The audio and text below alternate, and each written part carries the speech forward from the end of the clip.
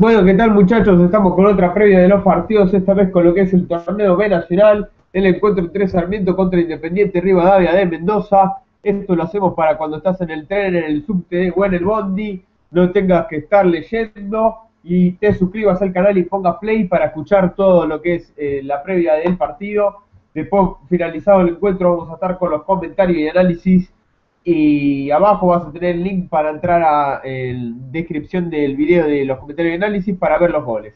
Bueno, vamos a repasar las formas, las probables formaciones que juegan a las 2 de la tarde, en 14 horas más o menos, muchachos, van a estar jugando.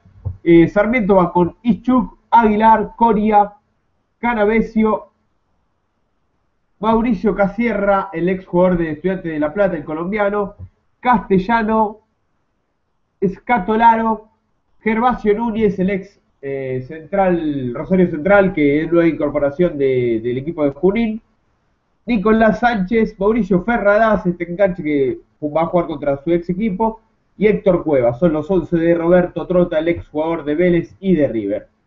Y el equipo visitante, Independiente Rivadavia, va con Josué Ayala, el ex Boca, Walter García, Agüero, Méndez, eh, Parisi, Rearte, Coronel, Guerra, Toneto, Claudio Velázquez y González Vera. Los 11 de RR, Ricardo Rodríguez, el ex técnico de All Boys, que lamentablemente sufrió el, descenso con, con, el Albo a la segunda división. Y el árbitro del encuentro va a ser Luis Álvarez en la cancha de Sarmiento. Así que ya dijimos a las 2 de la tarde, se abre el torneo B Nacional, este lindo campeonato que va a estar a morir. Recordemos que está dividido en dos grupos de 11 equipos cada uno. Va a ser un muy lindo campeonato con Riquelme, con, la bandera de la B Nacional a morir. Y este yo calculo que va a ser un lindo partido porque ponen bastante de incorporaciones. Gervasio Núñez va a ser un jugador fundamental para, la estructura del equipo local ya que es un zurdo que puede jugar tanto de volante por izquierda como, como de, mediocampista central. Yo creo que lo va a usar más como mediocampista central para darle el juego junto con Ferradas y, y, que llegue por los costados, eh, ya sea Núñez y Castellano. Eh, Mauricio Casierra es un lateral de mucha proyección y tiene muy buena pegada el, lateral colombiano. Independiente Rivadavia, recordemos que viene de, de un proceso complicado, el anterior, comprando todos jugadores del Argentino B, Argentino A, más o menos.